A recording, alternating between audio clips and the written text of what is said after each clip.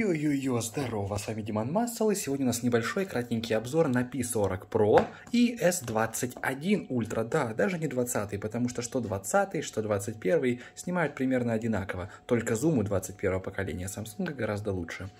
Поэтому сравним их, несмотря на то, что телефон на Авито стоит 40 тысяч рублей, а этот около 60, мы делаем прямое сравнение, что есть, то есть, так называется. Я должен отметить, что Huawei молодцы, потому что, в принципе, они делают классные телефоны. Он офигенного дизайна, он достаточно узенький, при этом такой, хоть и толстенький, но очень приятно лежит в руке, его приятно держать. Он относительно легкий, но при этом чувствуется, что он легкий лишь потому, что он небольшого размера. Он чувствуется таким плотненьким, приятный вес, так сказать. Этот телефон тяжелый, но я этого не замечаю. То есть он и большой, у него огромный экран, охеренный экран. Samsung вообще по экранам просто топ. У них самая лучшая максимальная яркость на солнце. Понятно, что если вы будете ходить постоянно под солнечными лучами, он выгорит нафиг. И на средней яркости мы используем его в помещениях и тот, и тот, поэтому по яркости особой разницы нет. Но если надо будет, то Samsung выдаст большую яркость. Далее, цвета на Huawei хорошие, классные, красочные, гораздо лучше, чем у iPhone, чуть-чуть, может быть, не дотягивают до Samsung, но в целом это отличный экран с хорошими закруглениями по краям, в которых нет никаких случайных нажатий. При этом телефон очень быстрый, и он даже лучше держит зарядку, чем любой Samsung Huawei, по зарядке всегда молодцы.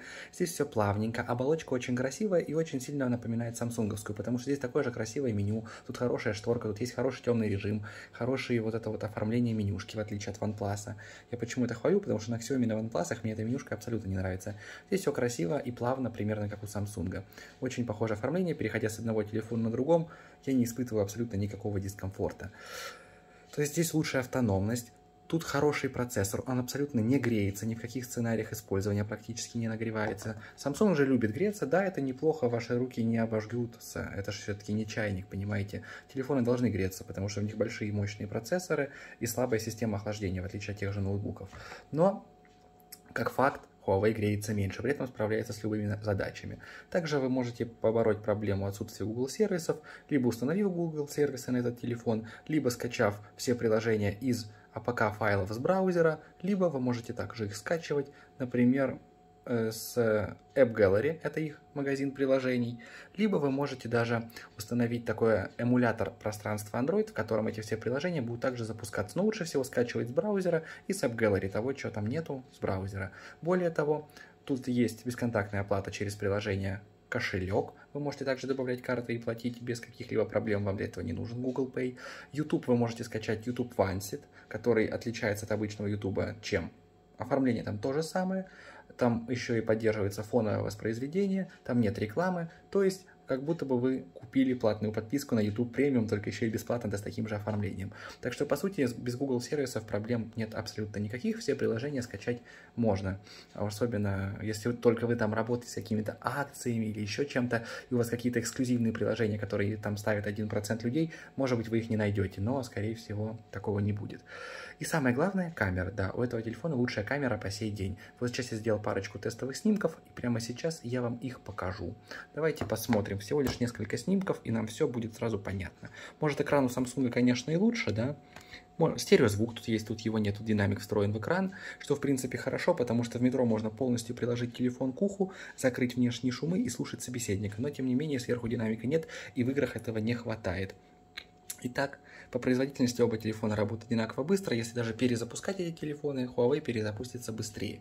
Итак, мы смотрим. Фронталочка, значит, смотрите. Качество деталей больше на Huawei. Это видно по бровям, это видно по глазам, это видно по усам. Фронталка выдает больше деталей. Дальше десятикратный зум. С одной стороны он старался быть четче, но с другой стороны ему не хватает тряски, то есть стабилизация у него очень слабенькая. Samsung он прям вылавливает картинку и замирает на ней, и очень легко сфоткать объект.